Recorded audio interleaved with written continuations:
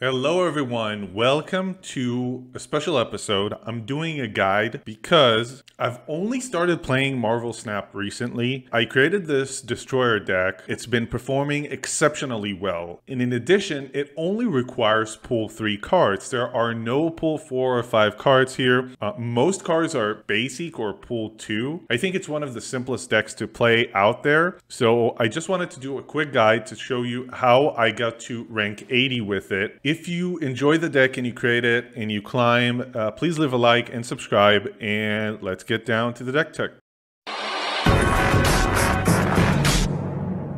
The strategy of the deck is super simple. The deck relies on Destroyer being a surprise, being a 15 power, 6 cost card. Destroyer obviously has an ability that can destroy your whole board, so you have to play around it. So your strategy is to commit into two lanes only. One, which we'll call the protected lane, which we will play cards like Armor in the beginning or Professor X at the end, and will lock down the location in a way that makes Destroyer not kill your whole board. The other lane is going to be the destroyer lane where you're going to play the destroyer and add a lot of power on the last turn and that's how you're going to win that lane. All of these cards are part of one of three groups. The first one is cards you want to play onto the protected lane. Cards like Sunspot, Daredevil, Armor, uh, which will make your lane protected, Captain America, um, Warpath, and maybe Hobgoblin. And obviously obviously Professor X as well. These cards, you want to shove them all into a single lane, get a lot of power into that one lane, and win it just by having a lot of strong cards. Bucky Barnes and Colossus are cards that you want to play into your destroyer lane because obviously when you destroy Bucky Barnes, it adds 6 power to your lane. Colossus cannot be destroyed, so it's a safe card to play on that lane. The other cards are what I call disruption. You have Elektra, which which is not a card that a lot of people enjoy playing, but Elektra is a very big surprise. It can destroy a one cost card, which is usually either Ant-Man or Sunspot, and it can really change the tides of the game, and it only costs one, and I really like Elektra. It's really surprising people. Armor is also a disruption card. A lot of the time I enjoy keeping it and not playing it right off the bat because if I play against the destroy deck and I play armor, it's usually game over. And Cosmo, obviously the ultimate disruptor of unrevealed decks. Cosmo, if you have priority, you want to just shove Cosmo into Wong or any lane that you think they're going to play something, and it's usually just game over. As for snapping, you usually want to snap on turn 5. If you have Daredevil on the board, you can see what the opponent is going to play on turn 5. And what that does is, is it allows you to understand how the game's going to go,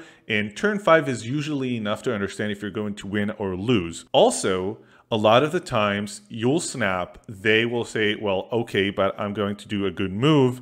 You counter that move. Just for example, they play Wong on turn four, you play Cosmo into it on turn five, and they just insta retreat. But you snapped prior, so you get two cubes instead of one. Uh, that happened a lot of games, so I usually snap on turn five. Also, turn six is obviously our strongest turn, so it's very rare that we lose on turn six six, meaning we were we were winning on turn five and then we lose on six. Yeah, very very simple. You want to choose a lane, usually a lane like Muir Island or Nidavellir, something that makes your lane stronger, your card stronger, that loves you know numbers. This is the lane you're going to choose it as the protected lane, and then if there's a lane that favors having uh, less cards like Atlantis or a lane that doubles the power of the strongest card, that's where you want to play Destroyer because it almost almost always is the strongest card in the lane. It's going to get the buff and it's going to win you the game. Now let's talk about matchups.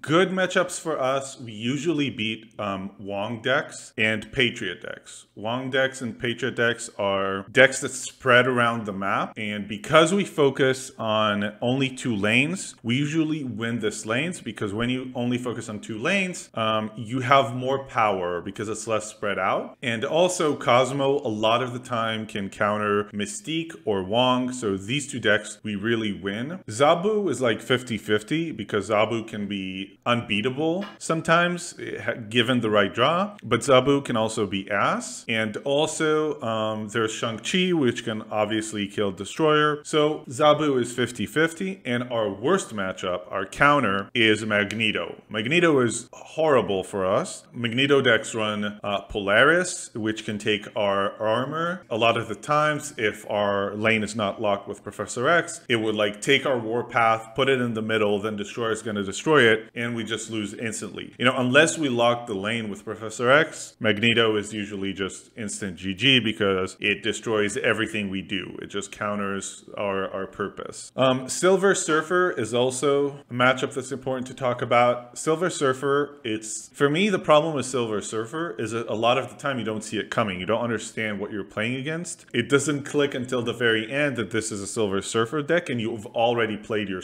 your Cosmo. And it's very hard for us to play Cosmo last turn because we want to play Destroyer last turn. So Surfer, it's not 50-50. It's more like a 40% win rate, but it's not like we get crushed by Silver Surfer every time. Um, so yeah, these are the matchups. I think until you get it 80, you have more than, you know, 60, 70% win rate if you play it right. So that's it. That's pretty simple. Let's play some games and see how it goes.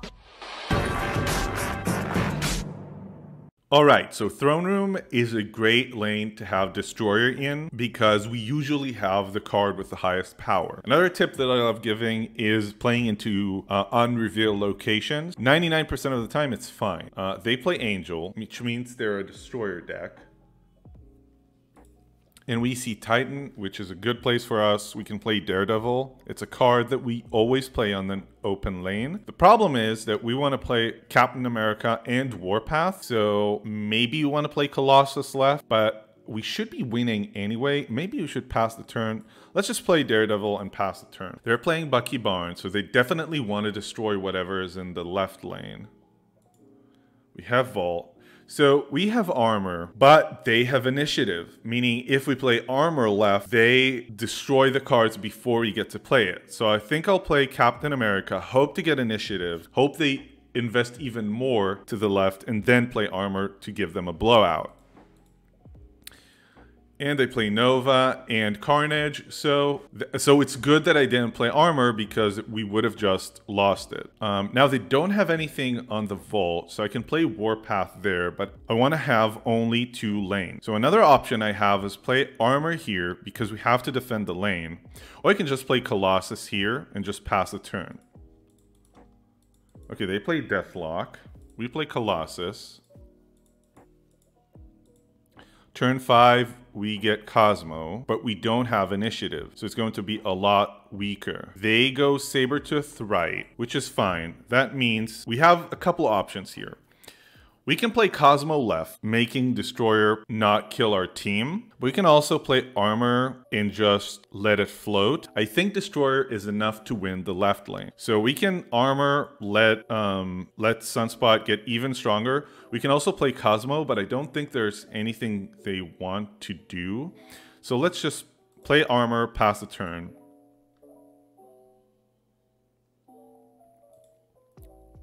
And now late game how, not having initiative is good because it means that we cannot get Shang-Chi'd. So we just slam Destroyer and hope for the best. They play left, they play America Chavez, we play Destroyer, and we get the bonus from Throne Room. And even though they have so much power because of Throne Room and because Destroyer is the strongest card, we get to win the game. And that's two cubes for free. Onslaught Citadel is a good place to be our protected lane. Pass the turn. They play Misty Knight, meaning they're going to be a Patriot deck, which is going to rely on Onslaught Citadel, but it means that Onslaught Citadel is not going to have a lot of power. Also, Wakandan Embassy is very bad for us because if they have Brood in their hand, it's going to be incredibly powerful also Mr. Sinister. So once again, we want to avoid the Brood lane. We get Agent Coulson, which does nothing. Now, one, one interesting thing is that we can use Cosmo to prevent Mystique from copying uh, whatever they're doing. but we don't have initiative. Um, let's play Captain America for now. They play Shocker. Interesting, they haven't played Patriot on turn 3. They might go for the 1-2. Like, now I can choose what's going to be our Destroyer lane. Let's go for mid, I think, because it just has less cards that don't have an ability. So let's go Barnes, Bucky, mid. And we can also play Colossus. There's no need to float mana. Or we can play Agent Coulson and then next turn play Professor X. Can also do that. Um, or Cosmo. We have a couple options. Let's play Cosmo. Let's just play Cosmo left. They play Ka-Zar. So they probably play something like Ultron. Let's see what they're going to do now. And maybe we can lock the lane and it's going to be very good for us, but we didn't draw Destroyer. So that's not very good. Oh, Magik. Magik is good because it allows us... I think Magik wins us the game. We can almost for sure snap here. Um, we can Professor... We can essentially Professor X, and they don't... They can't even play that many more cards. So I'm going to snap, play Professor X left, and pass the turn. And now we only have to win one more lane, and they only they can only play three more cards. They don't have any room. They left Onslaught. They were very greedy with the Onslaught Citadel, and now it's going to bite them because now it's close. Hobgoblin is also very, very good for us because we might be able to get cheeky and slide it into one of their lanes. Problem is it might also lose us the game. So let's play safe. Let's play Warpath and Colossus right. They play Onslaught, which gives them nothing.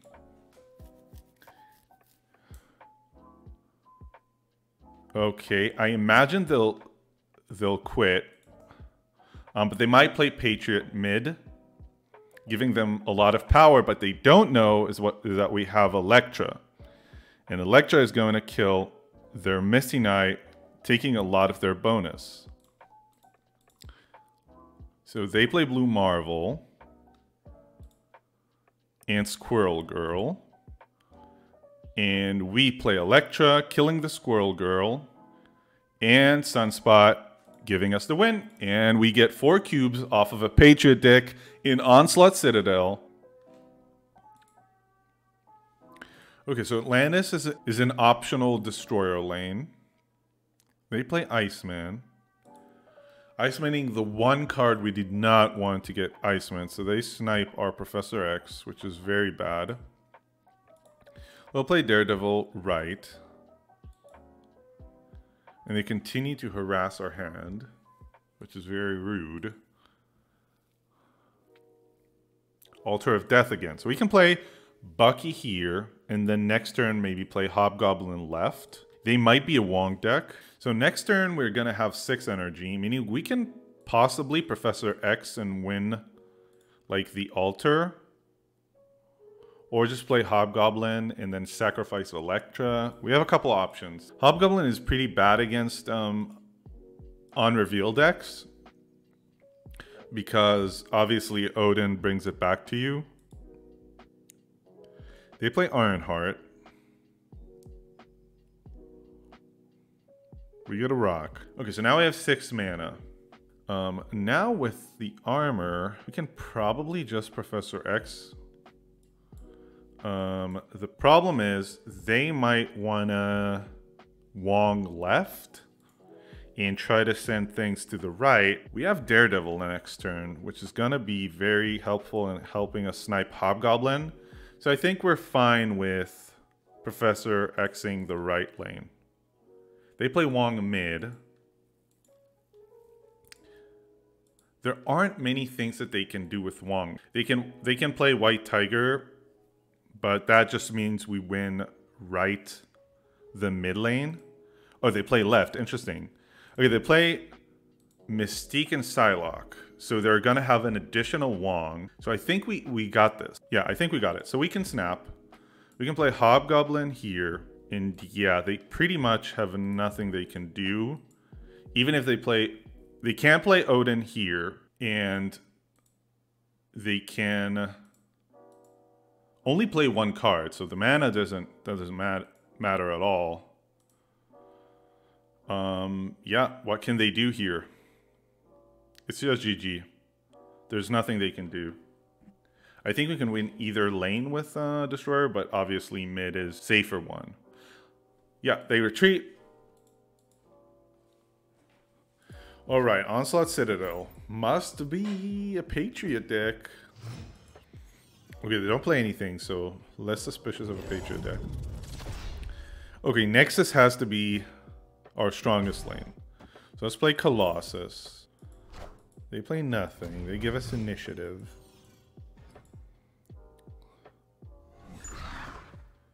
Okay, Cosmo is great. Cosmo is great because it means we can play Destroyer here. And they cannot Shang-Chi or Enchantress. I'm to snap. Cosmo is just insurance. They also snapped. Ooh! It's to be a spicy one. What did they play? Cycle. No, it's a Patriot deck. Oh my god, it's a Patriot deck. Oh no. Might still win. Okay, so let's play Warpath left. They don't have a place to play their Brood.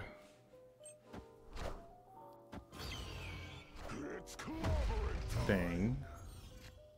Play Hobgoblin left for annoyance purposes.